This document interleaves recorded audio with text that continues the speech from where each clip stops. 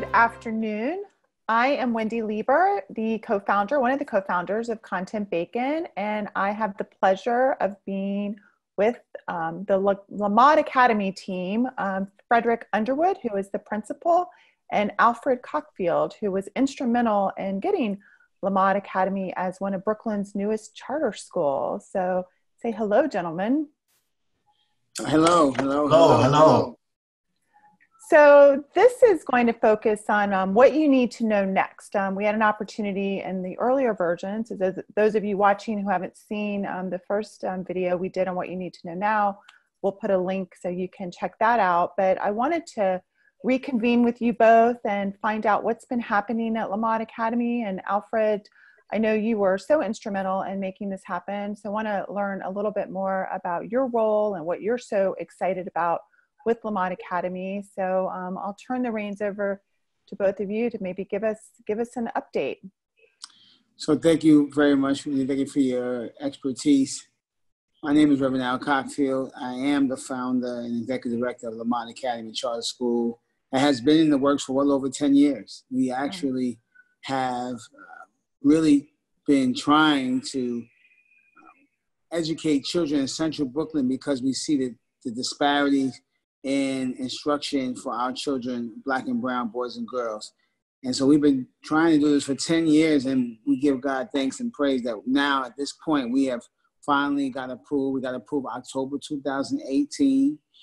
I had a, great team of people that work with me, some that have been with me for a little bit longer than others on the team. And it's so funny, once I got approved, I thank all the people that were on, on board from 10 years ago till today because everybody contributed something and we are people from the community that care about the community. We uh, every day of our life we do something that affects change for our community, and so we are finally here. We're getting ready to open. We did a planning year. We took time out. I I took uh, uh, Fred Underwood, who was on the board as well, planning team, off the board. He came off the board, and then I hired him. He's now our principal. We'll be taking care. We have a great team. And it was important to make sure not only that we build a team, but a team that really cares about children. A lot of times we have people who are involved in education who really don't care about children. They just care about getting a check.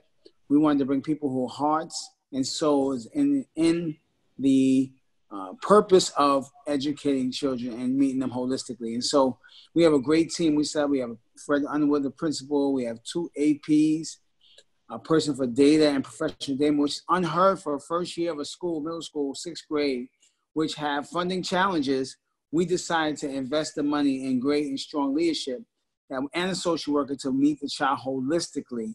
And so we are on Monday rolling out our summer bridge program for eight days, which gives us a, a, a quick look, a bird's eye view of where the child is. If there are some gaps there, which we know there probably are from COVID 19 and children not being able to access to great instruction and the, the, the shift that teachers had to make to be able to go from a classroom, a physical classroom, to virtual and remote, and what that looks like, and to be able to make sure the children get what they need. And so we're doing a summer bridge program. We have three cohorts, one starting on Monday, July 6th for eight days, excluding on Fridays, and then we start the following one on July 20th, and then the last one, I think, August 3rd.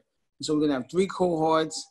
We're very excited. We are enthused to bring children STEAM, which why STEAM? Only most in the city of New York, I should speak about more than anything, but other parts of the country as well.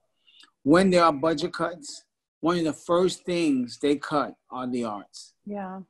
And so we are purposeful and intentional and deliberate to make sure we meet the child holistically and knowing that arts plays a major role in the uh, progress for our boys and girls. And so we have going to have a person over the arts, a director of arts, and we just we're just looking forward to just just the excitement. You know, talking to parents on the phone the last couple of days, they're excited when they hear about the STEAM program. They're excited about being digital and trying to go paperless and being able because most schools have a STEM option or STEM STEM particular program, but not to be full blown STEAM.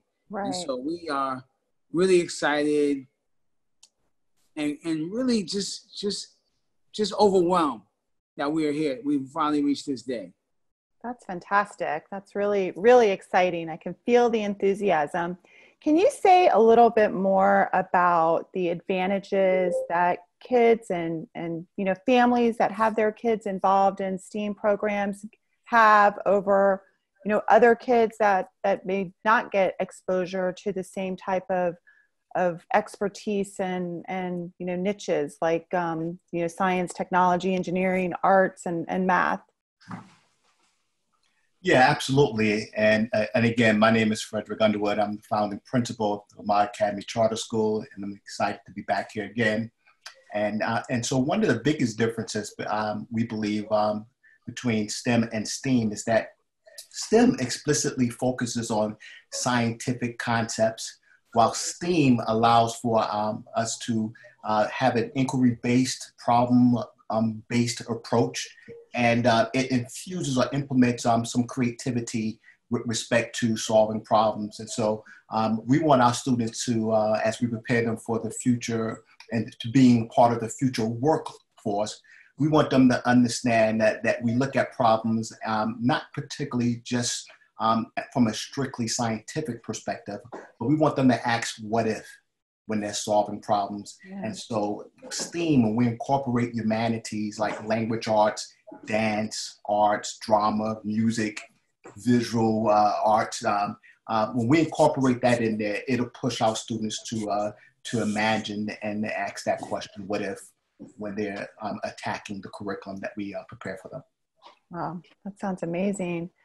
So if you all, you know, one of the reasons that we're doing this is, you know, we want the word out there as much as possible that Lamad Academy is accepting applications. If, you know, you all had an opportunity to sit in front of all the parents of sixth graders in the area, what are some things you want them to know? What are some things you want them to do? You know just what what what what can you can you say to make sure they they understand this amazing asset in their community now? I think one of the things that's very important for parents to know is that we're committed. We're really committed to meeting each child where they are and helping to move them forward. And why is that important? A lot of times as we make calls to parents as we engage parents they have concerns about maybe that child was bullied in their elementary years. Maybe their child didn't get the attention that they thought they should have gotten. And we're committed to making sure that doesn't happen. Lamad, the word Lamad is a Hebrew word for learning and teaching. And we believe that a teacher has not taught until students learn. And what that means is that we are committed in making sure that we're not going to let a day go by if a child is not getting the concepts, not understanding, to continue to go to the next day as if everyone's on the same page. No, we're committed to bringing every child along through the process. And so that's important to parents to know that their child is getting the nurture and the instruction that they need to be successful.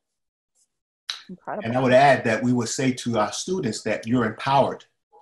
Um, student empowerment is very important. We want our students to ask insightful questions we want them to explore the disciplinary boundaries that are set before them.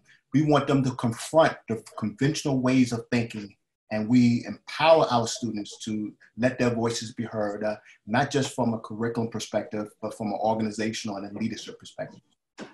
Fantastic. So, for those students who aren't lucky enough to be in one of the cohorts this summer, um, what are some tips? What are some resources for you know parents and students um, going through the summer in these you know still strange strange times to to make the most of their summer both from a learning perspective and play perspective. Absolutely. I think that we want uh, to avoid what we call in education the summer slide.